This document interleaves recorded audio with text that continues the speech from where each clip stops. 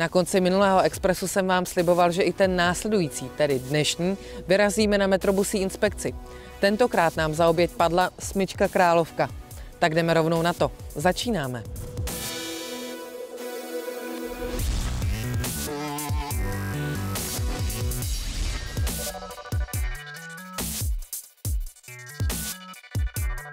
Na současném největším pražském železničním staveništi pokračují stavební práce. Nově se ale můžeme podívat na fotografie pořízené dronem.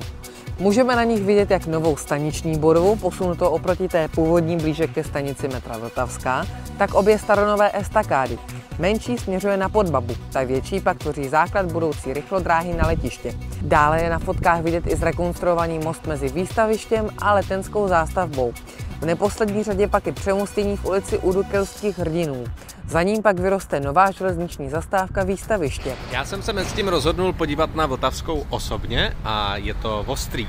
Kromě té výškové budovy, kterou jsme mohli vidět na vizualizacích a na záběrech z dronu, se rekonstruuje už celá tahle parková část, takže se vlastně vůbec pěšky nedá dostat na původní nádraží Bubny Vltavská.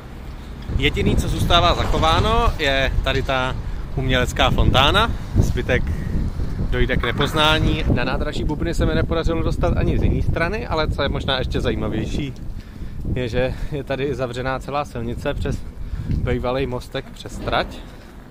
Ale o to víc si můžeme užít daleký výhledy na nově stavěnou mostní estakádu železniční. Celá trať bude nejen modernizována, ale i elektrifikována a hlavně zdvojkolejněna. Vysoutěžená cena je 3,8 miliardy korun a hotovo má být v roce 2025. Dolnosaské ministerstvo dopravy rozhodlo o nákupu nových bateriových železničních jednotek za 623 milionů eur, tedy zhruba 15,7 miliardy korun. Peníze získá dopravce LNVG, patřící spolkové zemi a dopravní svaz v Braunschweigu. Celkem jde o částku určenou nákup 70 bateriových elektrických jednotek. Většina dýzlových vlaků by měla z kolejí Dolního Saska postupně zcela zmizet do roku 2037. První však již o 8 let dříve. Dolní Sasko se stalo i prvním regionem, kde jezdí vlaky na vodíkový pohon. Teď se přiklání k bateriové technologii. V nejsevernějším krajském městě České republiky došlo ke spuštění příjemné novinky, a to nejen pro tamní obyvatele. Cestující liberecké MHD s platební kartou totiž mohou už v klidu vyrazit do jakéhokoliv autobusu či tramvaje, dopravního podniku měst Liberce a Jablonce nad Nisou a budou mít jistotu, že si ve vozidle koupí jízdenku, dokonce levnější než klasickou papírovou. Do Pomalio spustil provoz všech zbývajících 340 nových odbavacích zařízení. V minulém týdnu RegioJet poprvé pokořil s cestujícími úspěšně hranici Ukrajiny. Jeho noční vlak z Prahy do Čopu jezdí denně. Nyní se ale na Slovensku řeší možnost zavedení osobní dopravy na širokorozchodné trati, případně její prodloužení až do centra Košic.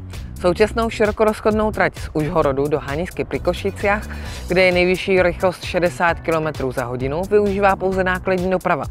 Její potenciál by se mohl využít například pro zavedení přímého vlaku Kiev Košice.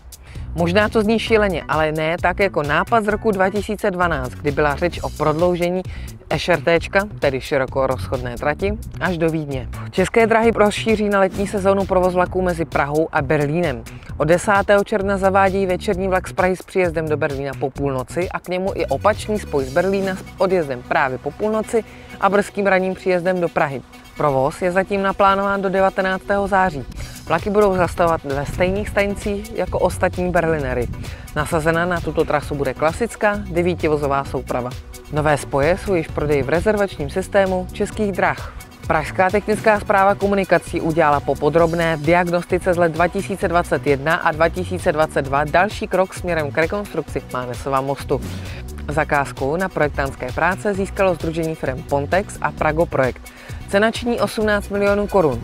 Současné chvíli je stav mostu z roku 1914 nepříznivý. Z měření vyplynulo, že spodní stavba mostu i nosná konstrukce jsou na pátém stupni sedmistupňové škály určující stav mostu. Dnešním dnem se vracejí tramvaje na trať ke Kobyliské vozovně. Omezení číhají na pražských silničních, železničních i tramvajových mostech.